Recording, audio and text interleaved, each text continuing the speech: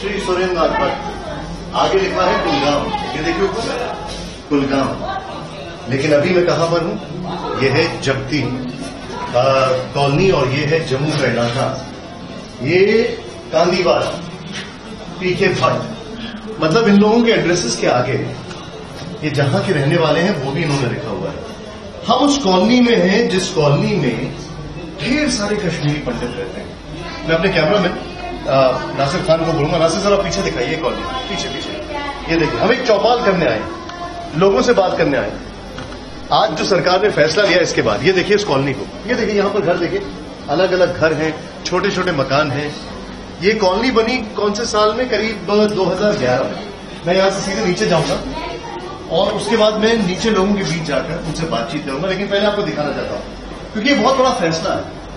सरकार का ये जो 370 हटाने का फैसला है इसके बाद सबसे बड़ा सवाल ये है कि कश्मीरी पंडितों का क्या हाल और वो कश्मीरी पंडित जो जम्मू में रह रहे हैं आइए बाहर चलते हैं। तो ये वो कॉलोनी है जगती कॉलोनी जहाँ पर कई सारे कश्मीरी पंडित जो है वो रहते हैं। यहाँ पर ये देखिए ये परिवार के लोग यहाँ पर बैठे हैं। हमारा इरादा है इसे चौपाल करने का लेकिन ये कॉलोनी देखे छोटे छोटे मकान एक एक कमरे के मकान 2011 में बने। ये सभी लोग जरा एक नज़र दौड़ाए इन मकानों के ऊपर।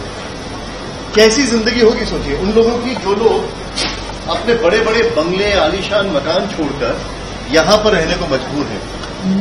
कहते हैं, कांग्रेस की सरकार ने इनके लिए एक कमरे का एक वन बेडरूम एकोमोडेशन बनाकर दिया। लेकिन आज ये जो फैसला आया है, इस फैसले के बाद इनका क्या कहना है, ये जानने को मैं आपको बताइए आज जो मोदी सरकार का फैसला आया 370 पे क्या इसके बाद एक उम्मीद बनी है कि आप वापस जा पाएँगे घर अपने? बहुत बड़ी उम्मीद बनी है बहुत बड़ी। जैसे इन्होंने इतना बड़ा फैसला लिया इतना बड़ा तो हम हमारा फैसला तो बहुत मामूली फैसला है।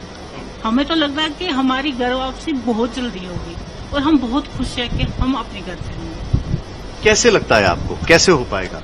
कितना बड़ा घर था वैसे आपका कश्मीर? कश्मीर में तो अगर कुछ नहीं तो दो मंजिल घर तीन मंजिल का घर तो कितने कमरे होंगे? सोलह कमरे तो होंगे। सोलह कमरे तेरह तो होते ही थे बारह जो गरीब से गरीब भी था तो उसके बारह तेरह कमरे होते ही होते कौन से साल में आप लोगों ने कश्मीर छोड़ा? नाइनटीन नाइन्टी में। आपने? नाइन्टी में छोड़ा। अब 12 13 कमरे 16 कमरे के बाद एक कमरा कैसे? क्लोज आप वो आप खुद ही अंदाज़ा लगा रहे हो कि कैसे रह रहे हैं हम लोग। आपको उम्मीद है कि वापस जाएँगे? करना पड़ा बहुत ही सफ़र करना पड़ा। तो सबसे पहले हम लोग जगती से हैं तो आप खुद ही देख रहे हो इस समय लाइट नहीं कुछ नहीं कैसे हम बाहर बैठे हुए हैं। तो इसलिए भी बैठे हैं कि आज हमें बहुत खुशी हुई है। मोदी जी ने वो काम कर दिखाया कि जो कोई नहीं कर सकता था और उनके नाम पे तो अभी हिस्ट्री भी लिखी जाएगी कि उसने बहुत ही अच्छा किया है। और सबसे बड़ी बात है कि जो कश्मीरी माइग्रेंट है वो एक किस्म का तीस साल का जो बनवास था आज हमारा कंप्लीट हो गया है। आपको लगता है आप लोग वापस जा पाएँगे? बिल्कुल क्यों नहीं? मोदी जी पे पूरी उम्मीद है हमें। जब उन्होंने इतना बड़ा वो फैसला कर दिया तो हमारा तो ये कुछ ऐसा नहीं क्यों नहीं जाएँगे? आपकी शौहर पिछली बार कभी गए थे जहाँ पे आपका घर था वहाँ पे क्या देखा?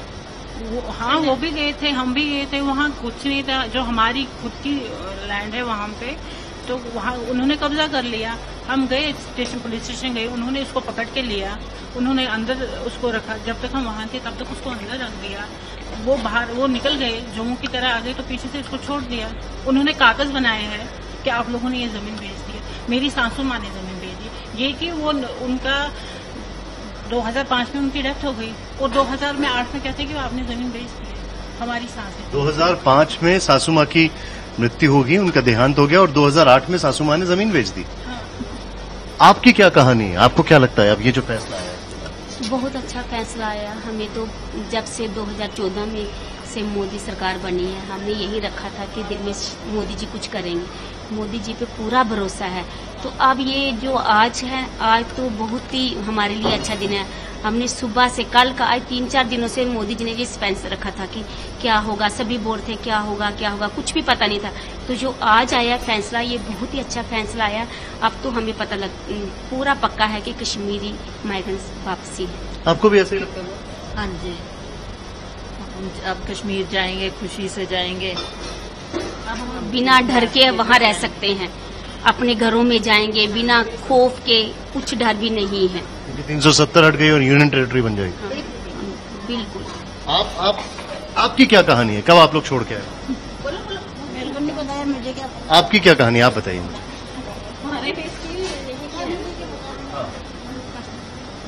जी। क्या पूछना चाह कहानी क्या? आप लोग कैसे छोड़ के आए थे? किन हालात में?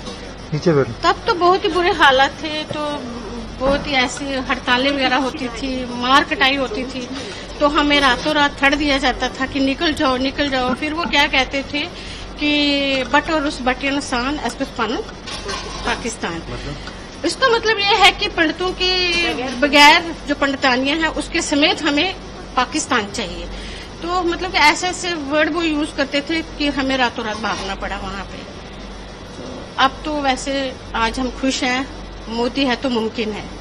आपको लगता है इससे कोई फ़र्क पड़ेगा? आप लोग वापस जा पाएँगे? हाँ। उम्मीद है मोदी ने इतना बड़ा फैसला किया आगे भी वही करेंगे क्योंकि मैं देख रहा हूँ जब मैं यहाँ पर था तो हर घर के अंदर टीवी जो चल रहा है उसमें आवाज़ें आ रही हैं न्यूज़ चैनल्स की। बाबूजी कितने साल हो गए कश्मीर छोड़े हुए? तीस तीस साल। किन हालात में छोड़ा? नाइनटीन क्या हालात थे तब? कैसे छोड़ा? बहुत हालात खराब था। गाँव में बोला निकाल निकलो। निकलो। अब लगता है वापस जा पाएँगे। है तो जाना तो है तो जब हालत हो जाए तो कुछ उम्मीद लगती है ऐसा? हाँ। जगती कॉलोनी में हम मौजूद हैं और यहाँ पर एक उम्मीद जगी है लोगों ये वो कश्मीरी पंडित हैं जो कि अपने बंगले अपने बाग अपने घर बार सब छोड़कर भागने को मजबूर हुए। अब इनको लगता है कि अपने घर में वापस जाएँगे। उम्मीद हमें भी। लेकिन इसका एग्जीक्यूशन करना आसान काम नहीं होगा, ये बहुत ही मुश्किल काम है। लेकिन शायद जब ये बार बार बोल रहे हैं तो सरकार को तो उस पर सोचना ही पड़ेगा। एक कदम और आगे बढ़े।